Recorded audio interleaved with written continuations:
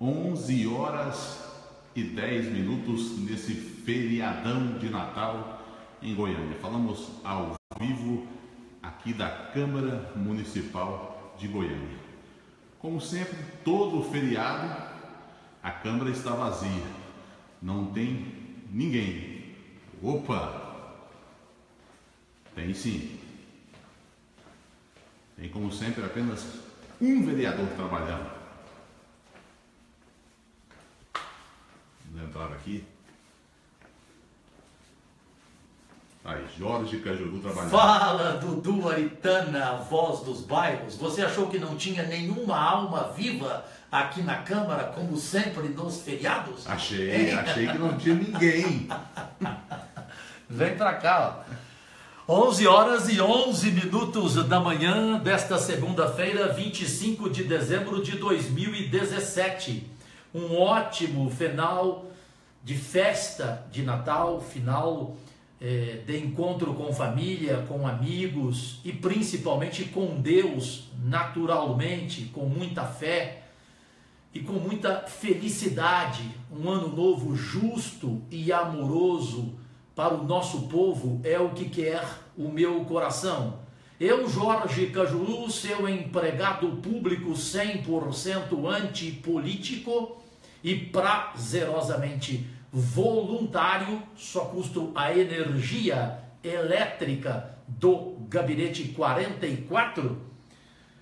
Para muitos, hoje o Cajuru não iria comparecer à Câmara. Claro, toda a manhã em bairros e uma parte da manhã aqui despachando normalmente.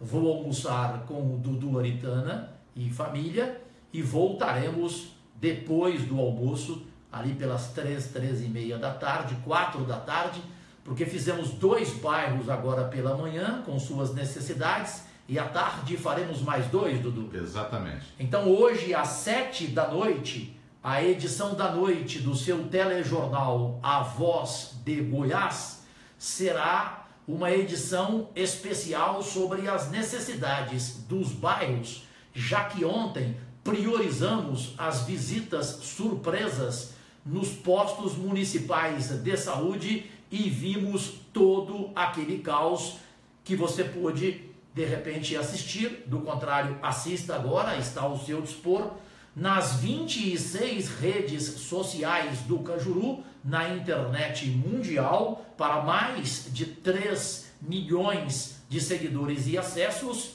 com o comando da página Selo Azul, facebook.com barra Cajuru Goiás.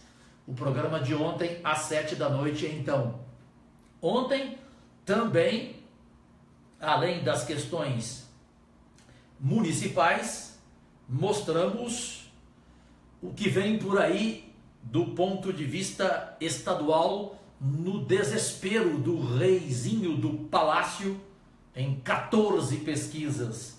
Ele não sai, empacou no segundo lugar das intenções de voto para o Senado Federal e em pânico decidiu convidar o goiano que mais fatura o dinheiro público, o dinheiro seu, com shows, com pagamento de escola de samba de carnaval, com comerciais mentirosos, como aquele das estradas goianas, que para ele eram uma maravilha, todos nós sabemos que são feitas de um asfalto sonrisal, buracos em todo o estado de Goiás, exceto em algumas estradas federais.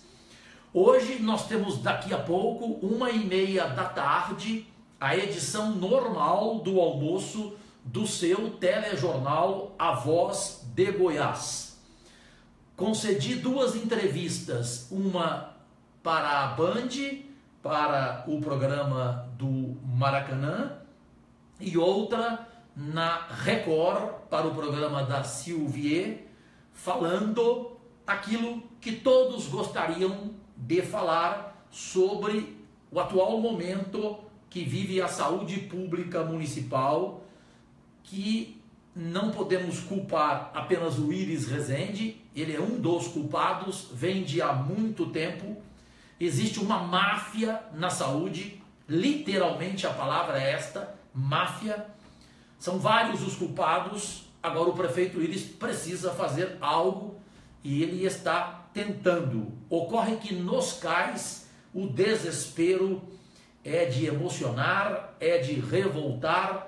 Agora pela manhã aqui no gabinete 44, a Ana Cláudia, filha de um pai desesperado com câncer, estamos tentando tirá-lo do cais Amendoeiras para conseguir uma vaga em um dos hospitais mais preparados do estado de Goiás, com o meu amigo José Cláudio. Vamos tentar, neste dia 25 de dezembro de 2017, neste dia de Natal, vamos tentar transferir, transferi-lo urgente, porque a filha teme pela morte dele.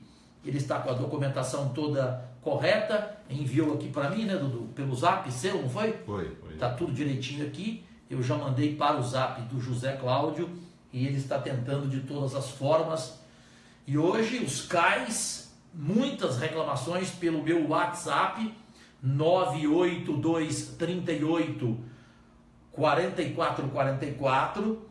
As pessoas reclamando porque depois de festas ontem à noite, muitos cais lotados e pouquíssimos médicos trabalhando. Ontem trabalharam, receberam inclusive um justo adicional, mas revoltados pela falta de materiais básicos, de medicamentos, é, pelo mau relacionamento com a secretária do caos, a Fátima Murué, tem muito médico que hoje, hoje segunda-feira, vai almoçar com a família e dane-se cais, essa é a realidade. Não só médico, enfermeira, recepcionista, tudo isso.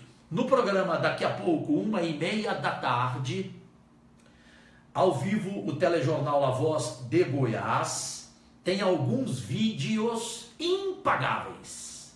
Tem um que eu recebi, o Oscar dos corruptos no Brasil. É impossível não ver este vídeo. Tem um outro vídeo também do Marconi Perillo, governador de Goiás, como Papai Noel dando os presentes para o povo goiano. Também é impossível não vê-lo.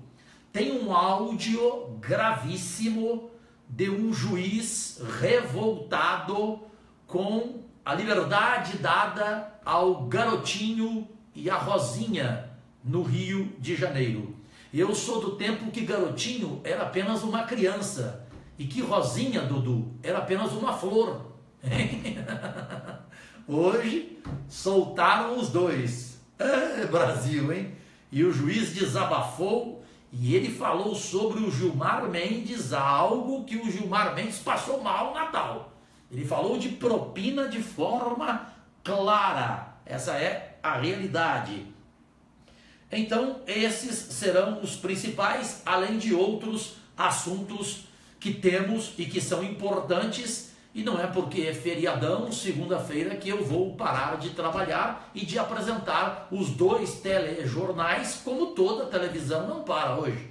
Telejornal uma e meia da tarde e telejornal às sete da noite. À noite, prioridade e necessidades dos bairros, dois que fizemos agora pela manhã e dois que eu farei agora à tarde com o Dudu, em função das reclamações dos moradores. E este, agora uma e meia da tarde, um pouco mais divertido, mais relaxado para o seu almoço de Natal.